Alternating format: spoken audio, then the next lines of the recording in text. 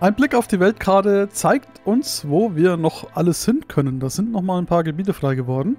Und die werden wir jetzt als neue Quests dieses Mal annehmen können. Beim letzten Mal haben wir schon angefangen mit den versunkenen Außenbezirken. Ja, und damit herzlich willkommen zurück zu Asterigos Curse of the Stars. War alles furchtbar kommentiert. Ich bin der Daniel und auch so ein Stück weit hier äh, eine Leseratte, wie sich schon herausgestellt hat. Zwangsweise. Also, neben den versunkenen Außenbezirken haben wir auch noch die Arges-Promenade. Auch diese Quest gibt es noch anzunehmen. Die Arges-Promenade ist das Aristoi-Viertel von Aphis, wo die Aristoi so bequem leben wie es ihnen unter dem Kriegsrecht möglich ist. Der Druck auf ihr Leben und Überleben, der seit einem Jahrtausend unverändert geblieben ist, wandelt sich jedoch unter diesem hell erleuchteten Viertel.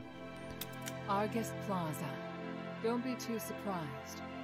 To obtain the Archon of Legion's relic, you must challenge the Archon's elite warriors with me. Yes, this we will do together. Among the Aristoi, the reputation of Marburn The Archon of Legion has hit rock bottom, and word of you defeating Eulalia has spread. I happened to get in touch with him and asked him to loan me the Archon relic in his possession. Marble agreed, but on two conditions. To clear my name, I must participate in the challenges of the traditional Trials of Remission, and you and I must meet with him at the Laurel Mansion. My old home. This is our only chance, so we must seize it. There is a path behind the Laurel Craft that leads to the Argus Plaza. It leads directly to the mansion, but you'll have to go in by a small road on the right side of the main entrance. An Aristoi named Narkis will meet you there. Ja, und wir haben auch wieder Schriftstücke zum Lesen. Narkis Antwort. Hochverehrte Herrin Minerva, ich habe in eurem Namen Kontakt zum Arkon aufgenommen. Er ist bereit, euch sein Archon Achontenrelikt zu leihen, solange ihr mit seinen zwei Bedingungen einverstanden seid. Erstens, ihr nehmt an den Prüfungen der Vergebung teil, um euch von euren Verbrechen reinzuwaschen. Und zweitens, ihr bringt die Fremde, die Eulalia besiegt hat, vor den Prüfungen zum Lorbeeranwesen, um ihn zu treffen. Das ist offensichtlich eine Falle, ihr solltet euch das genau überlegen, Herren. Obwohl Marbels Situation in letzter Zeit nicht besonders gut aussieht, konnte er seine Kontrolle über Avis zentrale Gebiete tausend Jahre lang aufrechterhalten. Und er ist noch immer so durchtrieben wie eh und je. Ich denke, er hält die Beseitigung der Anhänger für eine gute Möglichkeit, seinen Ruf wiederherzustellen. Wie auch immer ihr euch entscheiden werdet, ich werde euch voll und ganz dabei unterstützen. Hochachtungsvoll, Nakis.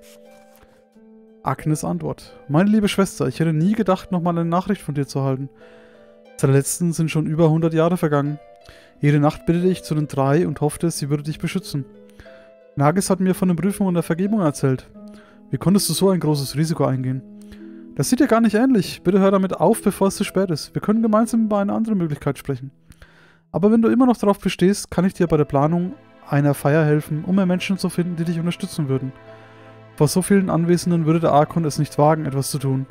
Es würde dir außerdem dabei helfen, voranzukommen. So oder so war ich froh über deinen Brief und freue mich, dich wiederzusehen, deine Schwester Agnes. Die Familie wird immer größer. Erst der Mann, jetzt äh, eine Schwester so, was haben wir denn noch? Genau, das sind die abgeschlossenen Gebiete. Verlan, Stella, ähm, Arges Bazaar und Schwarze.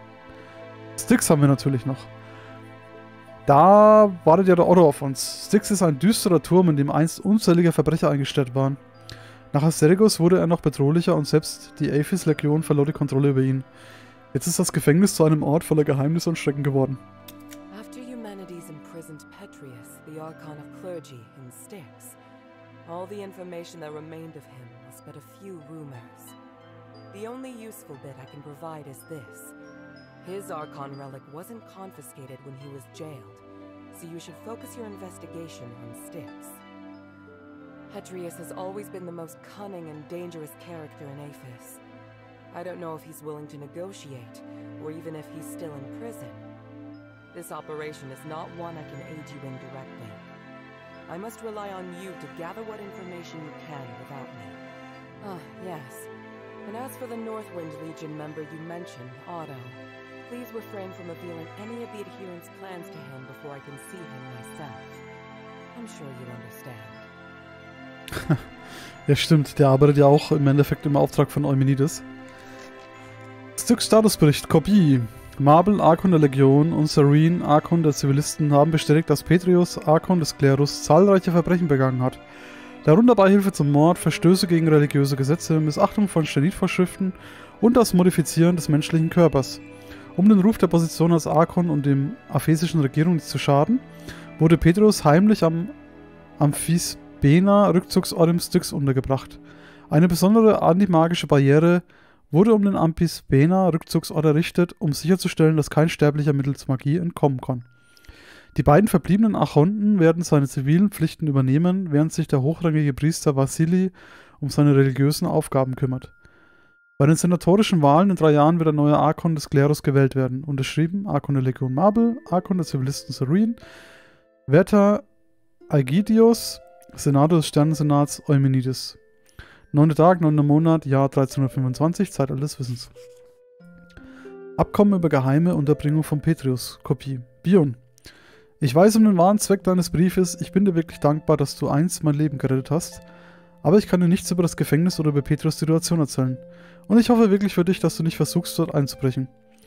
Das Gefängnis ist gerade sehr ruhig und es geht mir gut. Es ist nicht mehr so wie damals, als der Flug gerade angefangen hatte und es Aufstände gab. Als ich jederzeit bereit sein musste, den drei gegenüberzutreten. Es ist nur, dass ich jeden Tag von meinem Büro auf die Höhlengrube schaue und manchmal möchte ich einfach springen und mich von all diesen Mühlen befreien. Und hier noch eine etwas unschuldigere Klage. Der Fluch hat meine Sinne betäubt und ich fühle mich wie eine Leiche. Aegidius, 24.01.1730 Aegidios Brief. Dies ist eine Kopie des Berichts, der von Styx an den Archon der Legion übermittelt wurde. Lord Marble. Styx wird weiterhin verurteilte Gefangene aufnehmen, die den Physikoi als lebende Versuchsobjekte dienen, um Asterikos weiter zu erforschen. Bisher haben sie jedoch noch immer keine bedeutenden Erfolge erzielt. Die Physikoi fordern außerdem ein lebendes, kaledonisches Schwein, drei mutierte Täum Täumesfüchse und zehn Schlangen.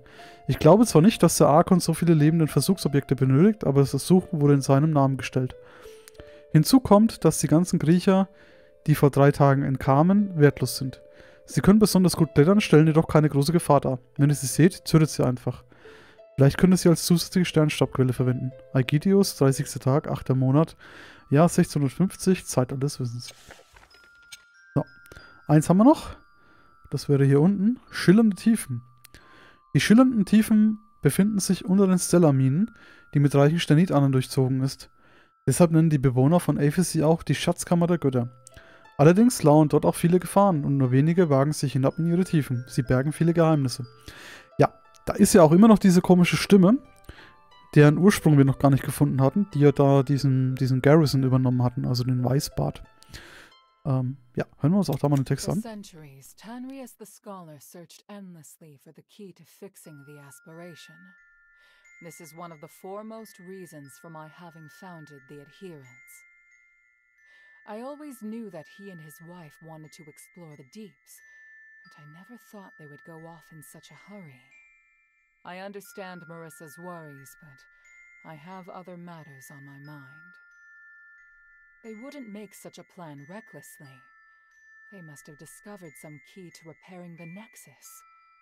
Hilda, go and find them or any new clues they may have left behind. The adherents need any potential help we can get. Tandrius zweiter Abschiedsbrief. Herrin, wenn ihr diesen Brief liest, werden meine Frau und ich wahrscheinlich in den schillernden Tiefen sein und forschen.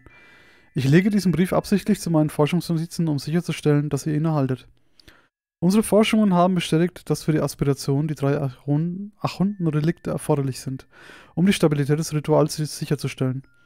Allerdings auch nur dann, wenn der Nexus intakt ist. Der Nexus wurde jedoch durch Eumenides Versagen beschädigt und wir wissen nicht, was passieren könnte, wenn das Ritual mit dem beschädigten Nexus durchgeführt wird. Aphis würde einen weiteren Fehlschlag nicht verkraften.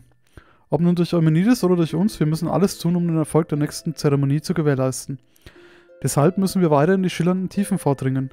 Wir sind der festen Überzeugung, dass sich in den uralten Ruinen dort unten noch mehr entscheiden, entscheidendes Wissen verbirgt, das seit tausenden von Jahren verloren ist. Wenn wir dieses Wissen nutzen können, gibt es noch Hoffnung für Aphis Zukunft. Tanrius. Missionsbericht zu Tanrius Eskorte in die schillernden Tiefen. Herren, die Escort-Mission war weitestgehend erfolgreich und Tanrius hat außerdem genug Forschungsdaten gesammelt, um ein ganzes Jahr nicht mehr hinaus zu müssen. Dieses Mal sind wir tief in das Untergrundseegebiet vorgedrungen und haben die Ruinen eines alten Tempels besucht. Die Monster in den schillernden Tiefen sind fast alle in einem passiven, bewegungslosen Zustand, weshalb wir nicht auf allzu viele Schwierigkeiten gestoßen sind. Es gab Missionen, eine kleine Es gab außerdem eine kleine Banne während der Mission. Als wir an einer Höhle vorbeikamen, verschwand Tandrius plötzlich für drei Tage, weil er ein besonderes Sterniderz entdeckt hatte. Seine Frau hat sich darüber hinaus keine Sorgen gemacht. Drei Tage später tauchte Tandrius plötzlich wieder auf und sagte nur, dass er nach Mineralien gesucht und sich verlaufen hätte. Angesichts der Tatsache, dass Tandrius zuvor mit Petrius zusammengearbeitet hatte, denke ich nicht, dass sein dreitägiges Verschwinden wirklich nur auf ein einfaches Verlaufen zurückzufahren, zurückzuführen war, Bion. Hilda? Ja. Wow, hier haben wir noch jede Menge, jede Menge Sachen zum, zum Lesen.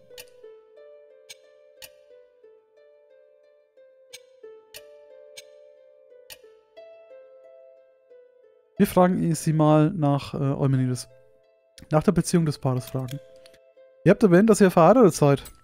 Glaubt ihr, dass ihr ihm umstimmen könnt? Wenn ich das könnte, müsste ich ja nicht hier sein. Ich muss euch warnen. Unser Verhältnis ist nicht so gut, wie ihr denkt. Es ist mir peinlich, das zuzugeben, aber Eumenides und ich, wir verstehen einander nicht. Unsere Werte waren immer sehr verschieden, aber ich versuchte stets, davon auszugehen, dass er recht hatte. Als Folge davon drängte er auf das Res Resonatorgesetz, was lediglich, was letztendlich Asterigos verursachte. Ich weiß, dass es nicht seine Schuld war, Magie. Naja, sie ist schwierig zu kontrollieren. Also kann ich ihn nicht hassen, oder mich selbst, dass ich ihn damals nicht aufgehalten habe. Das ist alles sehr dumm gelaufen. Was auch immer ihr an dieser Stadt hasst, es ist das einzige, das ist einzig das Ergebnis von Eumenides Fehlern. Hilda, wenn ihr das Glück habt, ihn zu finden, erteilt mir bitte eine Lektion in meinen Namen. Ihr seid sehr gut darin, mich herumzukommentieren. Wenn ihr ihn seht, muss ich euch wohl nicht sagen, dass ihr ihn verprügeln sollt. Vergesst nicht, er hat euren Vater. Ihr habt recht, ich werde ihm eine Lektion erteilen. Nach dem Echo aus der Zeit fragen, als sie jung waren. Übrigens fand ich in der Lorbeerwerkstatt ein Echo eines Gesprächs zwischen euch und Eumenides. Ich verstehe das nicht falsch, aber ihr klangt damals sehr glücklich. Hm. Daran erinnere ich mich nicht. Ist euch das etwa peinlich? Ich sagte, ich erinnere mich nicht. Oh, es ist euch wirklich peinlich. Verzeihung, wie auch immer. Ich gebe euch das Echo. Ich brauche es nicht. Behaltet es. Ihr habt doch nicht immer noch Gefühle für Eumenides, oder? Treibt es nicht zu weit. Ihr habt gesagt, ihr würdet alle Fragen beantworten, die ich habe. Ha, also gut. Das hat nichts damit zu tun, dass ich jetzt, was ich jetzt tue und was ich ihm jetzt antun werde. Also, es ist nicht wichtig. Jedenfalls kann ich meine Gefühle für ihn nicht in wenigen Worten zusammenfassen. Es ist kompliziert. Verzeiht, ihr habt recht. Pah, das ist das erste Mal, dass ich Hass auf einen Echostein empfinde. Gut. Wir haben jetzt alle Quests angenommen. Jetzt müssen wir halt nur noch irgendwie einen Weg finden. Ne? einen Weg. Ähm, ähm, ähm, ähm, ähm, ähm. Zum Beispiel in die versunkenen Außenbezirke. Wie komme ich da denn hin? Findet Serene, Arkon der Zivilisten und beschafft euch ihre Archonten-Relikt.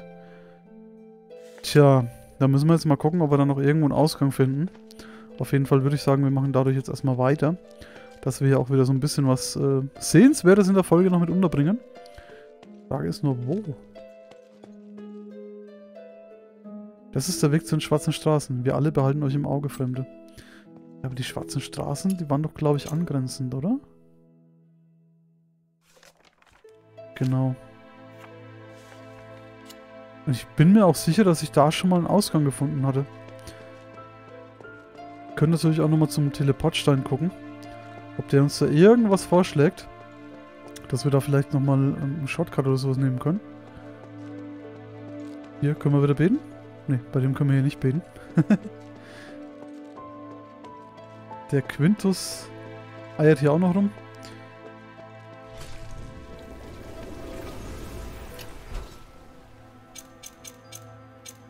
Ja, wir haben da tatsächlich noch gar keinen Teleportstein. Wir könnten aber die schwarzen Straßen. Innerstädtischer Wall.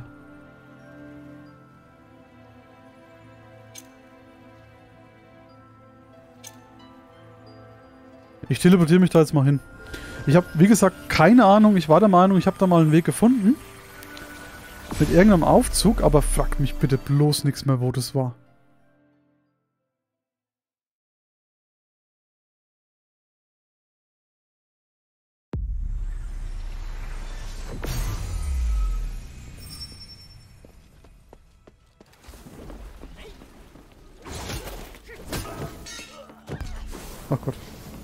Na klar, das explodierende... Was ist die Frage? Hoch, runter? Jetzt einfach mal runter. Autsch, Autsch, Autsch. Das war keine ganz so gute Idee. Ah, hier sind wir zumindest schon mal in der Kanalisation. Tja, könnte hier... Könnte hier... Was ist was ich suche? Also von da hinten kann man auch nochmal irgendwie reinkommen. Hm.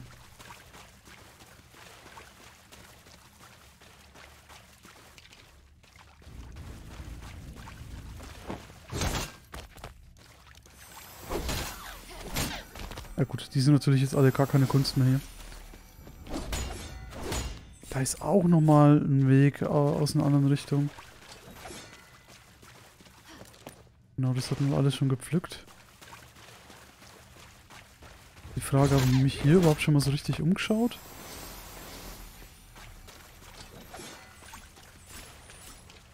Jetzt hier wieder entlang. Ja, okay, hier laufe ich gerade so ein bisschen im Kreis, wie es aussieht.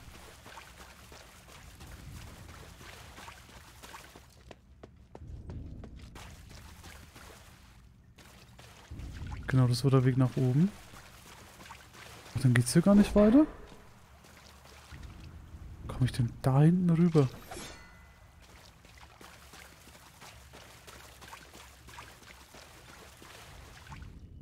Okay, Moment, ich guck noch mal kurz dahinter. Noch irgendeinen Weg übersehen. Ne, das war wieder dieses Kreiseck, ne? Kreisverkehr. Dann wird das hier nicht der richtige Weg sein. Hier waren ja auch nur die, die eine, die erste lebende Kiste.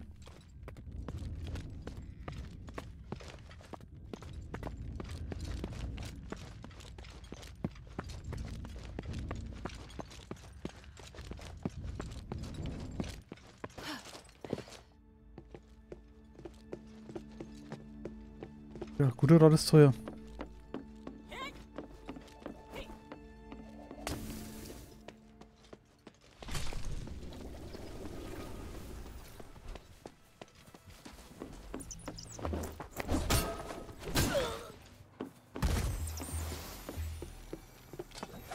Guter Rat ist jetzt hier sehr teuer.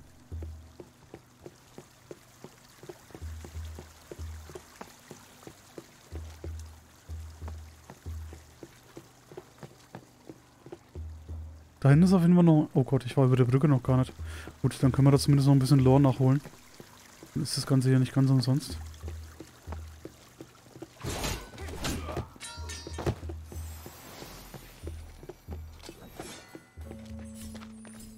Schrein der Geheiligten. Oh. Hoppla, die sind ja ganz friedlich. Entschuldigung. Wollte euch ja gar nichts tun. Die wollen auch nichts von mir. Die sind ja ganz friedlich. Hab ich hier richtig viel übersehen. Autsch.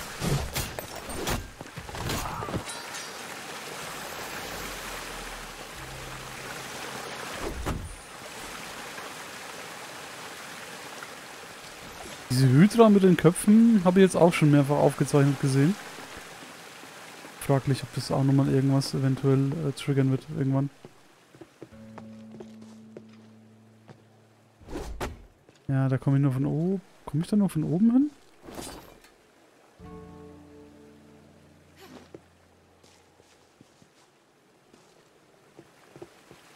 Ja, wie komme ich denn da hoch? komme ich denn da hoch?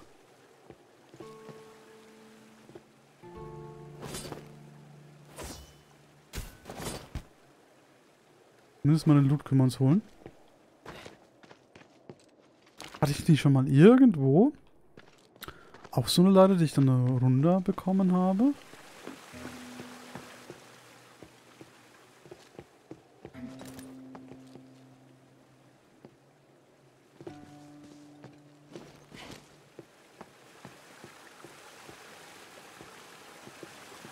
Die Sprache kann ich nicht lesen. Oh. Von einer Hütte übersehen. Allerdings ist auch nicht viel zu holen. Sind sie erstmal offensichtlich nicht weiter, oder? Moment mal. Vielleicht mit dem Stab anhauen?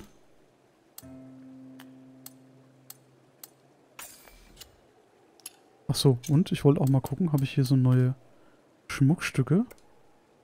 Das sind die gecrafteten. Alles Bergarbeiter-Amulett. Erhöht die Kapazitäten für aufgeladene Bomben. Erhöht den von Wurfdolchen verursachten Schaden. Ja, das ist alles irgendwie nicht so der Burner.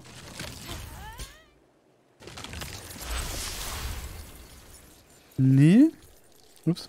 Den da hinten wollte ich sowieso nicht an. Hopseln.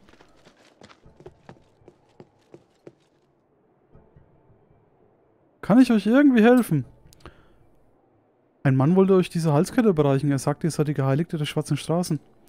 Ah, ich weiß, von wem er spricht. Er nennt mich die Geheiligte, aber ich verteile nur Sternstaub. Also seid ihr nicht die Geheiligte? Nein, das ist jemand anderes, aber ich stehe darauf, dass ich es sei. Diese Halskette bedeutet Menschen in der Schwarzen Straße sehr viel. Ich freue mich, dass ihr sie mir gegeben, dass ihr sie mir geben möchtet. Aber ich kann sie nicht annehmen. Ich würde mich noch viel mehr freuen, wenn er sie behalten würde. Verstehe, ich werde es ihm ausrichten. Wo hatten wir denn die Halskette her? Hm?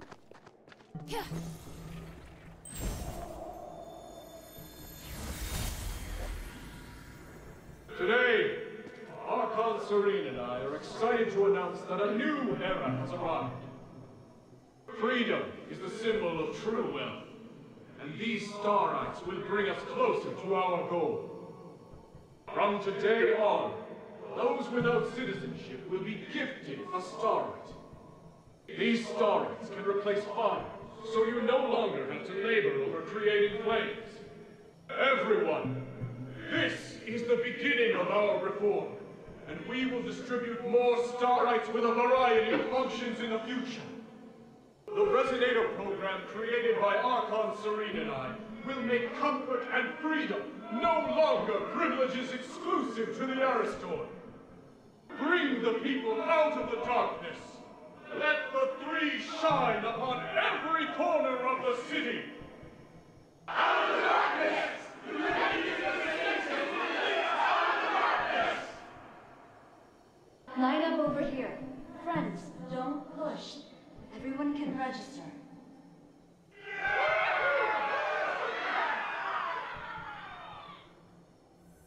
Hey, wir haben zumindest mal Serene gefunden.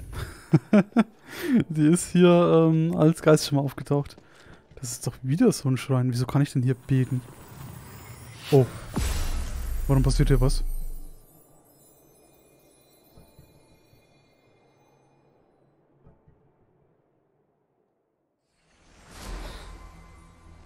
Prometheus Akademie.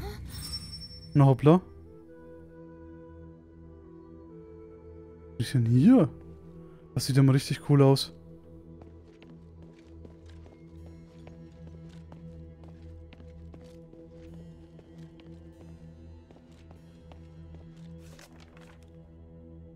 Tafeln ohne Schrift, obwohl was da geschrieben steht.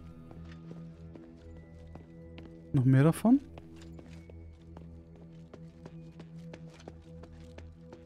Also auf jeden Fall mal, das sind auf jeden Fall auch noch Gestalten da vorne. Ich vermute, die werden wir nicht so freundlich gesinnt sein. Auf der anderen Seite ist es auch normal. Ich denke mal, wenn ich hier versuche zu lesen, werde ich auch nicht wirklich vorwärts kommen. Aber ich gucke es mir mal an.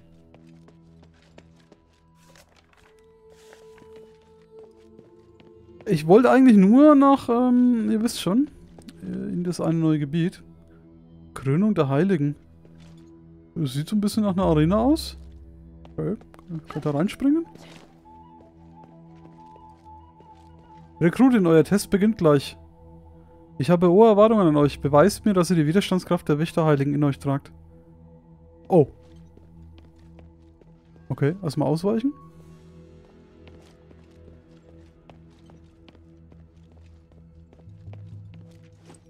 Autsch.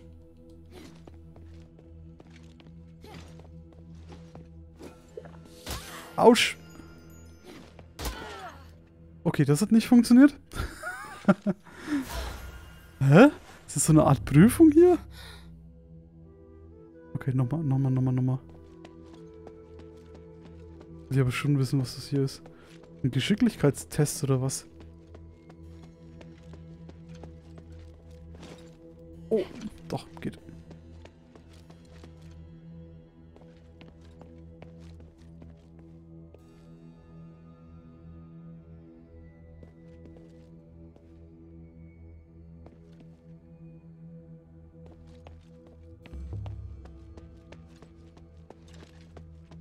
Soweit erstmal. Bis hierhin.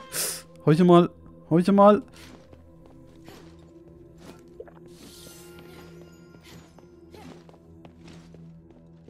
Oh, ich kann nicht durchstechen. Okay, ja gut, wenn ich durchstechen kann. Die Steindinger machen auf jeden Fall weniger Schaden. Ähm.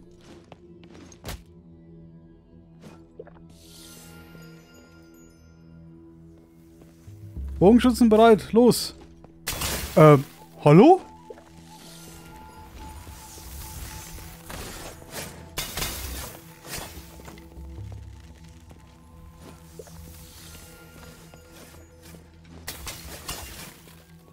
Ja, klar, natürlich. Jetzt kommen die auch noch da.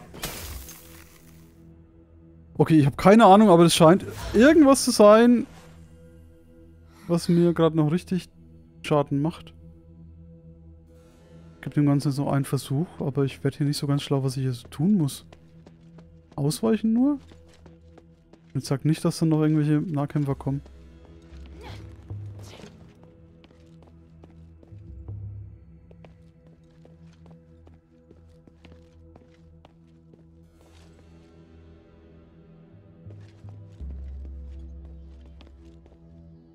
Weil da oben steht noch ein Nahkämpfer.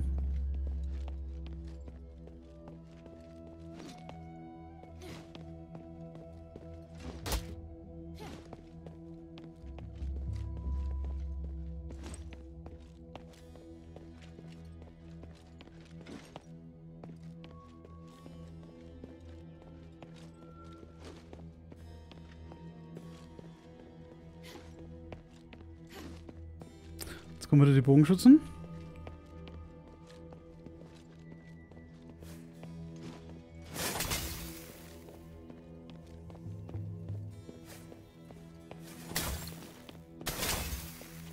Jetzt muss ich hier die ganze Zeit auch noch in Bewegung bleiben. Wenn hier gleich noch dann mal wieder... Oh Gott.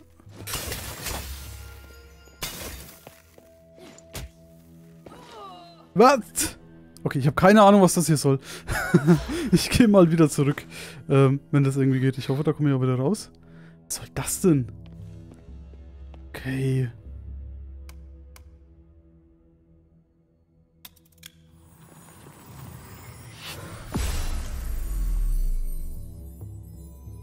Das ist ja interessant. Das heißt, diese ganzen Schreine zum Beten haben auch noch irgendwelche Geheimnisse.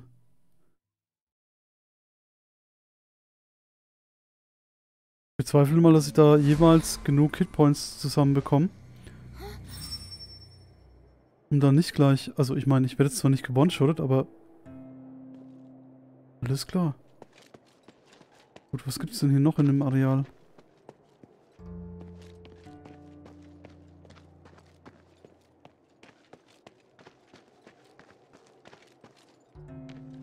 Kann es sein, dass ich vielleicht von da drüben aus rüber muss? Hier unten ist ja auch noch was. Oh, da ist noch eine Leiter. Gucken da nochmal runter. Also ich bin, ich bin mir sicher, irgendwann werden wir sicherlich auch nochmal äh, hier das... Hier schon wieder? Kiste. Irgendwann werden wir auch die anderen Gebiete finden. Der Need Fragment. Genau, den Sticks, den könnten wir relativ zeitnah finden. Da wissen wir ja schon, wo er ist.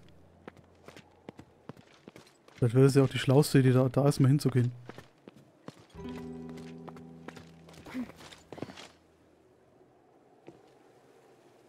Suchen nach den Arestoi-Wachen in den Außenbezirken. Achso, ja gut. Wir sind ja hier bei den Außenbezirken. Das heißt, wir müssen irgendwie diese komischen Wachen finden. Glaubt es so, könnte es auch schon sein. Genau, heißt aber dann hier ist irgendwo dann noch der, der Aufzug.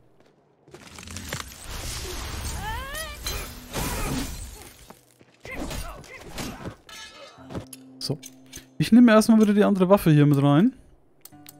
Die Dolche. Und dann müssen wir tatsächlich auch erstmal wieder Pause machen. Hier im Ghetto. Äh, haben wir vieles, ich sage mal, versehentlich erkundet. Da geht es beim nächsten Mal weiter. Und ja, ich bin gespannt, was uns in der nächsten Folge erwarten wird. Freut mich, wenn ihr wieder mit dabei seid. Danke fürs Zuschauen und ich wünsche euch noch einen schönen Tag. Bis zum nächsten Mal. Auf Wiedersehen.